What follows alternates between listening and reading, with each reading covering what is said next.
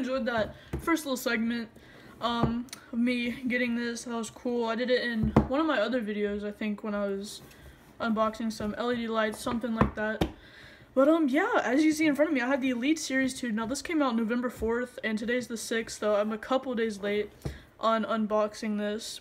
But it's alright, because I got one, it was one day shipping. I didn't know where else to get it. Probably Best Buy. I could have gotten it there maybe the day of the release. But anyway, it's here. We have it. Um, I'm to go ahead and start unboxing it after I show you guys the box, the contents, all that good stuff on the outside. So first, on the um, front, we have the picture. Uh, we have the picture of the controller, Elite Series 2. Xbox has a little dent right here. I don't know, that's probably just from shipping something.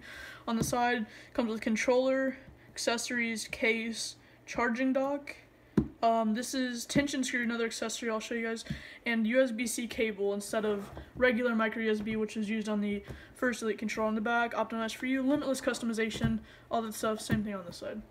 So let's go ahead and open it up. I already cut that side.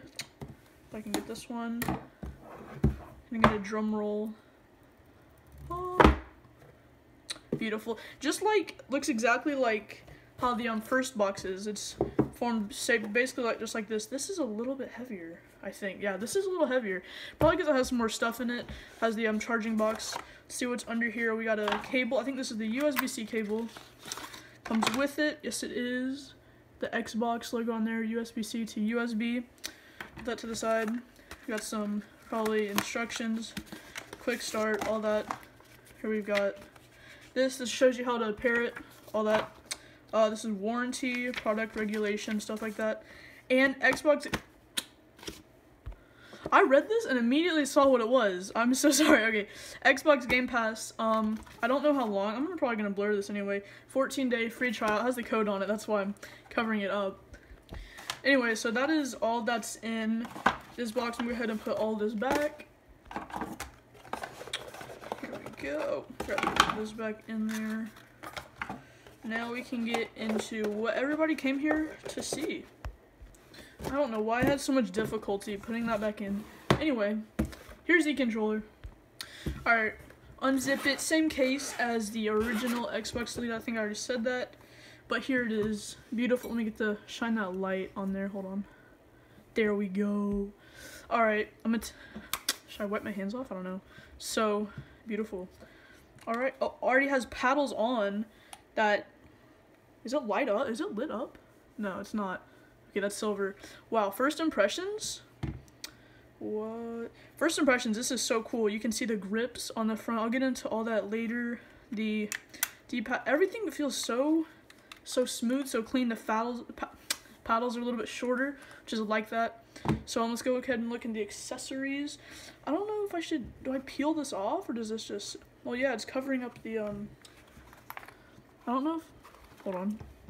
I don't know if you're supposed to peel. Okay, yeah, you are. It's a little sticky.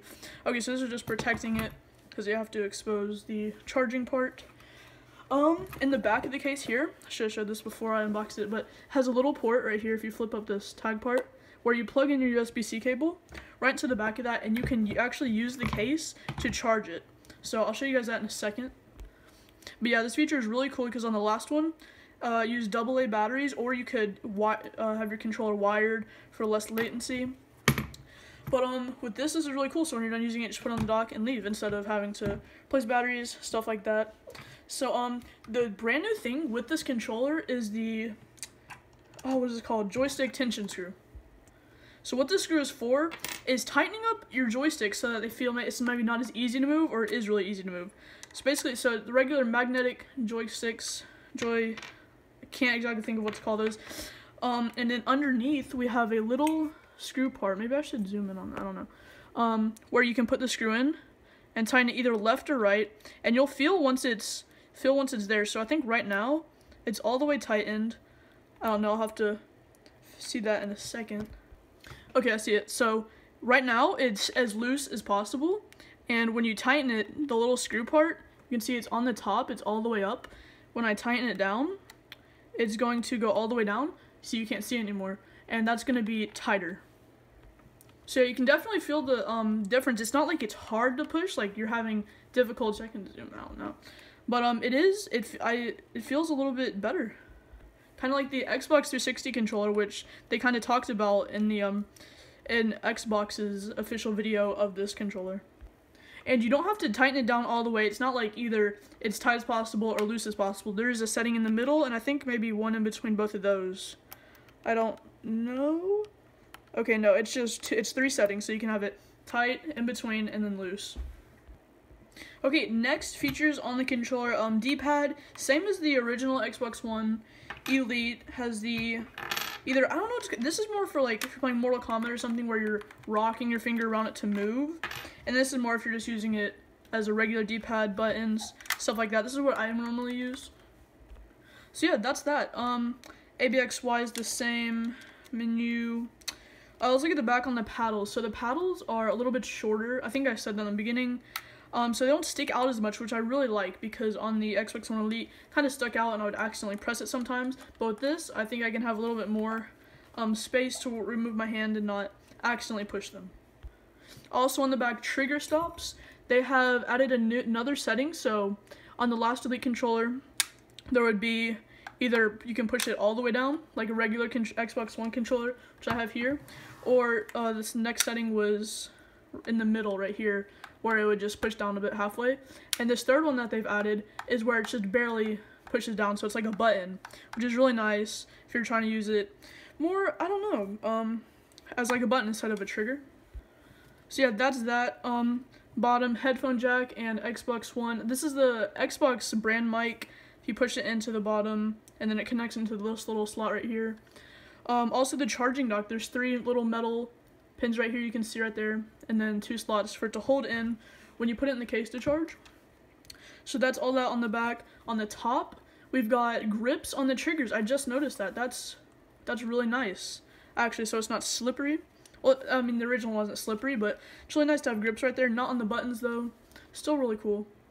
And then, of course, you got your sync button and USB-C port instead of micro USB, which is on the original and the Xbox One Elite.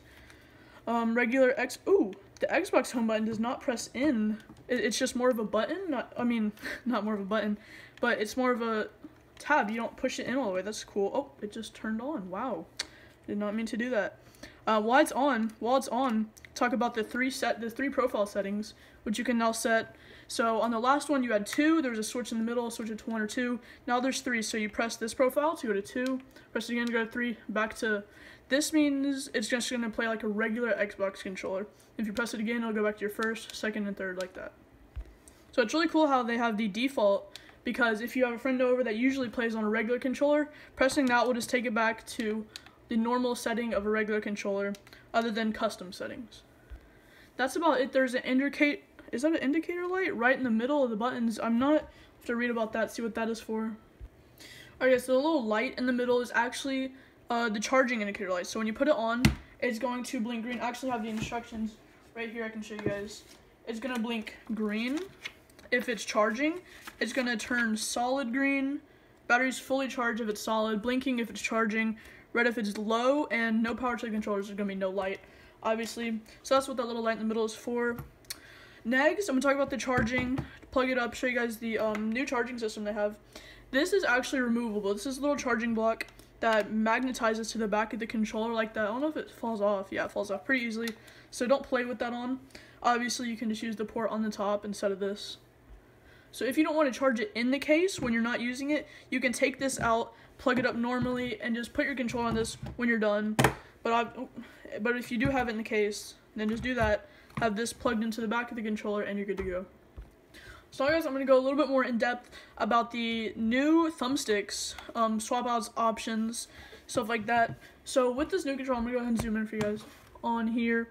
Um, there's these new thumbsticks, which are short sticks, like normal sticks that have grips, except they don't have grips. It's just, it's a little bit wider, a little bit thinner, as you guys can see, and just a little bit smoother. It looks like it feels feels feels pretty soft. I like I kind of like that feeling. I don't know if I like it more than this, but it's a little bit wider. So if you have bigger thumbs or um tend to slip off a little bit, I guess that's better for you. So it comes with two of these. I'm gonna put these to the side, and then it comes with two other. Now what's different about these are it comes with one high grip stick, just like on a normal Xbox controller, just but it accepts higher. And then it comes with a rigid, rippled, I don't know how to describe that, um, convex one. So it pops out of the top like a PS4 controller. And yeah, it comes with one of these and one high stick. Now on the original Xbox One Elite controller, it came with two high sticks and two regular low ones. And it did not come with either the flatheads or the um or the rippled convex one. So that's about it for the thumbsticks. I'm gonna go ahead and put these back in how they were, and then I'm going to talk about the new charging method. So I'm gonna go ahead and plug this in, put the controller in here like that. I have a USB, female USB right here. I'm gonna go ahead and plug this into, see which way this goes, up like that. Now I'm gonna plug it to the back of the controller. Now, it's not, it's just a little hole in the back so you can reach the, um, the charging dock because the charging dock is removable, so it's not like attached to the controller. So I'm gonna go ahead and push this, and here's that in. It's kind of hard to feel. Oh, it vibrated. Okay, so it's gonna vibrate, when you plug it in, and is that flashing? Now you can see the little light is flashing white. So it's flashing white right now. When I take it off, I think it should turn green. No, it's gonna stay Maybe, why was it green in the booklet, but it's white on here? Maybe that was just for, I don't know, where is that? So right here is red and green, but on here it's white. I don't know.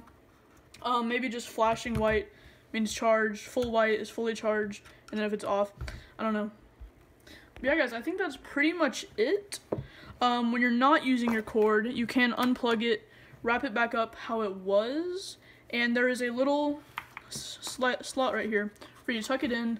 I don't know if that'll, yeah, that's not to fit well. Never, uh, maybe you take your thumbsticks off, it'll fit better. Yeah.